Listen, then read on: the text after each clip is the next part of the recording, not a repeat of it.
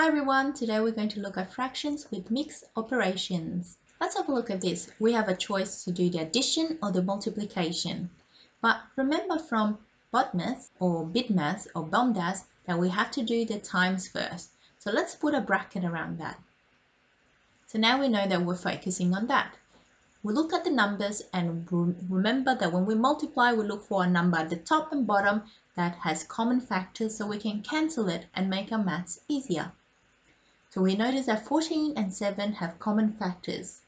So we're going to cancel them out and think how many 7s fit in each of them. 7 fits in 14 twice, so we're going to write a little 2. And 7 fits into 7 once. So we can just leave it like that when it's 1. So now we just multiply across. So we multiply the 1 with the 2 to get 2, and the 1 with the 9 to get 9. So now we have the 5 plus 2 over 9. And it's better if you write it all together. When it's 5 plus 2 over 9, it's just 5 plus 2 ninths. Let's look at another example. So for this question, we have brackets, so we have to start with that. And in the bracket, we have addition. And with addition, we have to make sure that the denominators are the same because we want to add the same size pieces, but we don't have common denominators.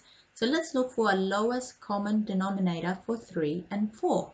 Well, the multiples of 3 are 3, 6, 9, 12, 15, whereas the common multiples of 4 are 4, 8, 12. 12 is our lowest common denominator. Let's see how we get there. 3 times what is 12? Well, 3 times 4 is 12. So whatever we do to the bottom, we have to do to the top. 4 times what is 12? 4 times 3 is 12. So whatever we do to the bottom, we have to do to the top. Now we can write our equivalent fractions like so.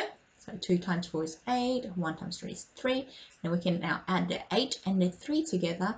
8 plus 3 is 11. So now we have 11 out of 12. And out of these two, we're going to do times before we do takeaway. And we notice that there is there a number at the top that can be simplified with a number at the bottom? Yes, 6 and 12. 6 into 6 goes once, 6 into 12 goes twice. And now we can multiply across. 1 times 11 is 11, 7 times 2 is 14. Now we have to subtract again. Let me move it over this side. When we subtract, we have to find the lowest common denominator between 14 and 7 this time. So the multiples of 7 are 7 and 14, so the lowest common denominator is 14. So we're going to change the 7 into 14 by multiplying it by 2. Whatever we do to the bottom, we have to do to the top. So 3 times 2 is 6. So now we get 11 over 14 minus 6 over 14. So now we do the numerators. 11 minus 6 is 5. And that's our answer.